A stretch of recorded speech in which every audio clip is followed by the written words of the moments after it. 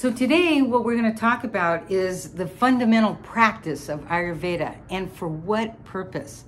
For number one purpose, longevity, vitality, and spiritual and mental health. So those are the four purposes of creating a routine in your life according to your body type. And what are we trying to get? Vitality, longevity, spiritual and mental health. Every day, just a little more vitality. Every day, a little bit more foundation for a strong longevity.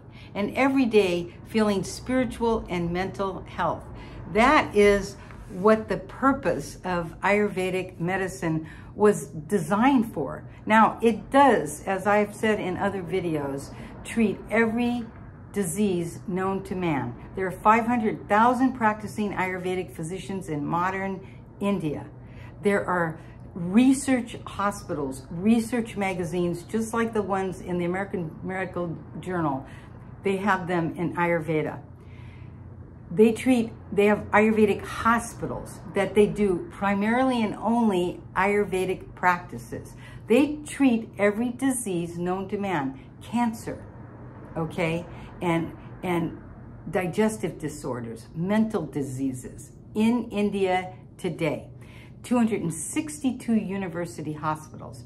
So it it's definitely, and there's 6,000 herbs, okay, in what are called um, the database of medicinal plants used in Ayurveda. And this is volume four. And I have all seven of these volumes, okay? And they use these 6,000 herbs okay, and many other practices on these diseases. And this book was created by the Central Council for Research in Ayurveda and Siddha by the Department of ISMNH, Ministry of Health and Family Welfare in New Delhi by the Government of India. And so they themselves, the Government of India, recognizes these 262 university hospitals and recognizes the fact that Ayurveda treats all 6,000 diseases. And yes, they have a medical profession. Uh, Reiki is very popular in Ayurveda. Um, homeopathy is very popular in India. Ayurveda is um, actually used by like 8% of uh, the population, but 8% of 1.3 or 4 billion people are a lot of people using Ayurveda daily. And the uh, medical association that was first developed in India by Britain, the British Medical Association, is used extensively. And I've been in those hospitals and it's quite amazing how sophisticated they are. So they're using every kind of medicine. But when you have that much um, widespread use with alternative medicine and uh, medical medicine, then you have really savvy healthcare consumers. And that is what is so exciting when I've been to India and watched that operating. And do they have controversy with each other? Of course. Wherever there are people, there's always controversy. But otherwise, taking that out of the consideration, it's quite amazing to go to India and see that there's like a specialty of Ayurveda in only cardiology, the Ayurvedic cardiologist, the Ayurvedic rheumatologist, the Ayurvedic dermatologist. And it's um, a really beautiful system. So that is why Ayurveda can claim that its medicine has such a wide breadth Preventative medicine is at the heart and soul of Ayurveda because basically they are saying that the number one cause of disease is something called pragya parad.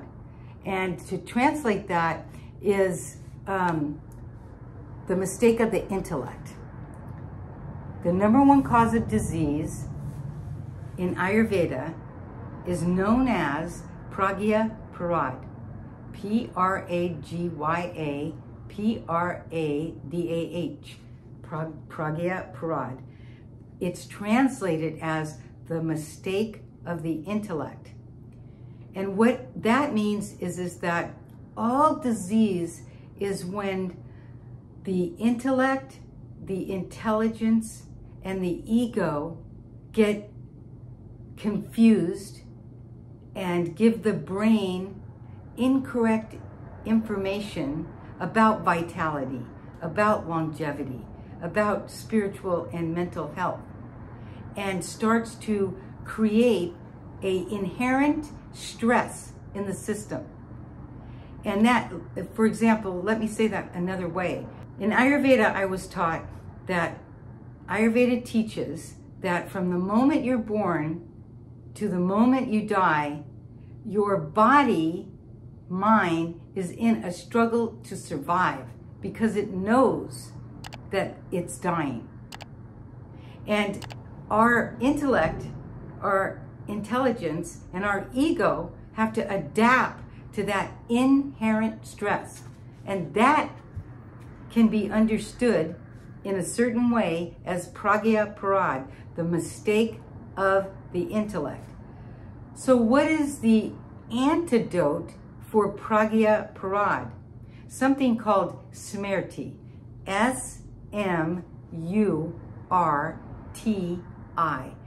And it is translated as remembering your wholeness, remembering your relaxated, relaxation, remembering your comfort and care and nourishment for yourself, remembering that the spark of life in you is the very essence of your experience of feeling good inside. Rupert Spira says that nirvana is resting in the I am. I'll say it again. Nirvana is resting in the I am. What is the I am? Well, when you close your eyes, and just try that right now, when you close your eyes and you feel that life in you, or you just close the eyes and you look out your eyes and all you can see is the black because your eyes are closed. And you just sit with that for a, just five minutes. That is the I am. That is the spark of life within you. Nirvana is resting in the I am. That is the first step to vitality, longevity, spiritual health, and mental health. Now, each body type according to the principles of Ayurveda, has the same general life recommendations, but more nuance to their basal metabolic rate, how fast their physiology operates. However, there are 13 body types, and there are five elements that combine to make three doshas, vata, pitta, and kapha. So we're always five elements. And we always have some vata, pitta, and kapha. Okay? That's just something that you have to understand because what they're talking about is biosystems. And they're constantly moving. You never stop. Even when you're asleep, your body is cellularly completing digestion from 10 p.m. to 3 in, just as an example, to 3 in the morning. So I have to put my glasses on here, okay? And so the general lifestyle recommendations, and this is scientifically proven now. And here, this has been written 5,000 years ago, okay? You have to get enough sleep. You have to pay attention to your bowels and elimination. And you want to be able to, the, what they say that's normal in, for a daily uh, routine is that you get up at six o'clock in the morning, you have a bowel movement. And that's your bowel movement for the day. And if you're having three or four or five bowel movements, that's busy bowels. And busy bowels is a sign of your nervous system being overstimulated. Avoid suppressing natural urges, including sneezes, thirst, hunger, cough, yawns, tears, laughter, runny nose, uh, gas, feces, and urine. Ayurveda believes suppression can lead to diseases later on in life. Love, happiness, and clarity in our relationships and everyday life are important for good health and long life. That is the goal of relationships, not being right or being wrong, but love, happiness, and charity in our relationships and everyday life are important to good health and long life. Get out in the fresh air and sunlight every day for at least 20 minutes. Those are the general lifestyle recommendations of Ayurveda. If you like this and you liked learning about Ayurveda and you want more, please subscribe, like, and comment. And if you've got a question about anything I said today and you want an elaboration on it, put it in the comments and I'll make a video. All right, have a great day. Bye.